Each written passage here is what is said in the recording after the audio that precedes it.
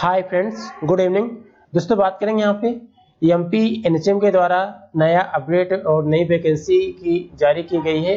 जैसे कि आप यहाँ स्क्रीन में देख पा रहे हैं दोस्तों, और ये जो विज्ञापन है, आज ही अपडेट किया गया है लेटेस्ट में, आप देख पाएँगे। सत्रह ग्यारह दो हज़ार बाईस को आज ही की डेट में जारी किया गया है। और आप लोगों को यहाँ पे दिखा देते हैं, ये जो विज्ञापन क्रमांक है, आप यहाँ पे पढ़ पाएँगे। विज्ञापन क्रमांक जारी किया गया है 2022 के तहत में, और ये जो डेट है, आप लोग यहाँ पे देख पा रहे होंगे। तो चलिए दोस्तों, इस अपडेट को पढ़ लेते हैं और आप लोगों को बता देते हैं जो अपडेट में बताया गया है जानकारी। हालाँकि आप लोगों ने पढ़ लिया होगा स्क्रीन में। अब आप यहाँ पे देख पाएँगे, राष्ट्रीय स्वास्थ्य मिशन मध्य प्रदेश संविदा आधार पर संविदा स्टाफ नर्स के रिक्त पदों पर नियुक्त के लिए आवेदन आमंत्रित करता है। यह अनुबंध 31 मार्च 2023 तक के लिए होगा, जिसे आगामी वर्षों की वार्षिक कार्य योजना में स्वीकृत अनुसार नवीनीकृत किया जा सकेगा। अब यहाँ पे दोस्तों आप देख पाएँगे, आपका जो पदनाम है, आप यहाँ देख पाएँगे, संविदा स्टाफ नर्स महिला के लिए है और इसके बाद दोस्तों पुरुष के लिए भी है, नीचे दिखा देंगे आगे। तो यहाँ पे देख पाएँगे, महिलाओं के लिए यहाँ पे अच्छी वैकेंसी जारी की है इसमें। दो हज़ार छप्पन सीट जारी की गई है और जो सैलरी रखी गई है, बीस हज़ार रुपये प्रति माह रखी गई है। शैक्षणिक योग्यता की बात करें तो आप लोगों को पता है दोस्तों, अभी तक आप लोग फॉर्म फिलअप करते ही रहते हैं। तो यहाँ पे बीएससी नर्सिंग जनरल नर्सिंग और ज्येष्ठ प्रसूति विज्ञान में सीनियर मिडवाइफरी प्रशिक्षित और ten plus two physics chemistry biology के साथ में होना चाहिए। साथ में आपका Madhya Pradesh nursing registration council में पंजीयन होना चाहिए, जो कि वैलिड हो।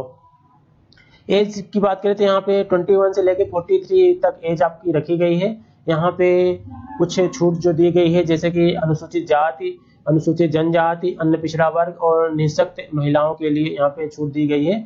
और आपकी जो एज काउंट की जाएगी एक एक दो तक की स्थिति में काउंट की जाएगी। नेक्स्ट आप देख पाएँगे यहाँ पे संविदा स्टाफ नर्स पुरुष मेल के लिए है, जो कि 228 सीट है। और यहाँ पे भी सैलरी सेम है दोस्तों, बीस हज़ार रुपये प्रति माह है। और बीएससी नर्सिंग के साथ में यहाँ पे ten plus two physics chemistry biology और Madhya Pradesh nursing registration council में पंजीयन होना चाहिए।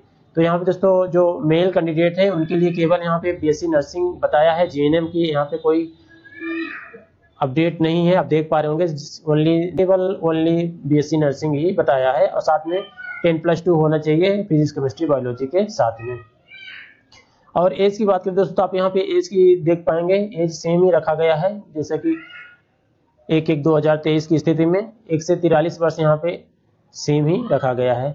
अब आप लोगों का जो फॉर्म फिलअप होगा आवेदन जो होगा, जिसके माध्यम से आप लोगों ने पहले फिलअप किया होगा, जो पुराने दोस्त हैं, ये W W dot S M S dot co dot in के माध्यम से, और जो लिंक ओपन हो जाएगी दोस्तों, आपकी पच्चीस ग्यारह दो हज़ार बाईस से हो जाएगी तो आप लोग अभी व्यापम की तैयारी करें एम पी पी वी की तैयारी करें ग्रुप फाइव की। उसके बाद दोस्तों लिंक के और ये फॉर्म फिलअप के लिए जाएँ, और ये अपडेट उन दोस्तों तक ज़रूर शेयर कर दें, जो दोस्त नए हैं।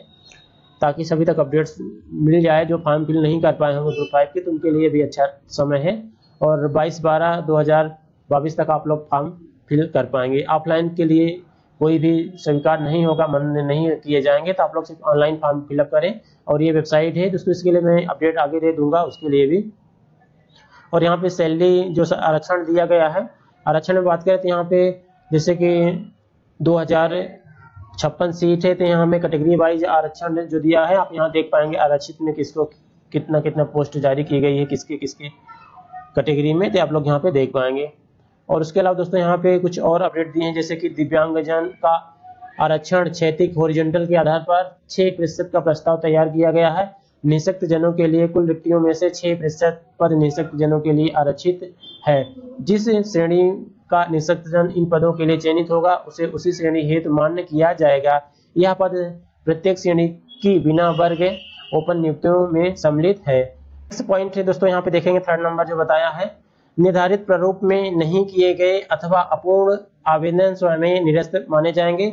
अंतिम तिथि के पश्चात प्राप्त होने वाले आवेदन पर विचार नहीं किया जाएगा। मिशन संचालक, राष्ट्रीय स्वास्थ्य मिशन, मध्य प्रदेश, किसी भी आवेदन को बिना कारण बताए स्वीकृत, निरस्त अथवा प्रक्रिया को निरस्त करने का अधिकार रखता है या होगा। तो आप लोगों ने देख लिया दोस्तों। तो आज की इस वीडियो में इतना ही। मिलते हैं अगले वीडियो में। तब तक के लिए प्लीज़ लाइक करें शेयर करें और सब्सक्राइब करना ना भूलें। वीडियो को देखने के लिए बहुत बहुत धन्यवाद सभी का। Thank you so much all of you friend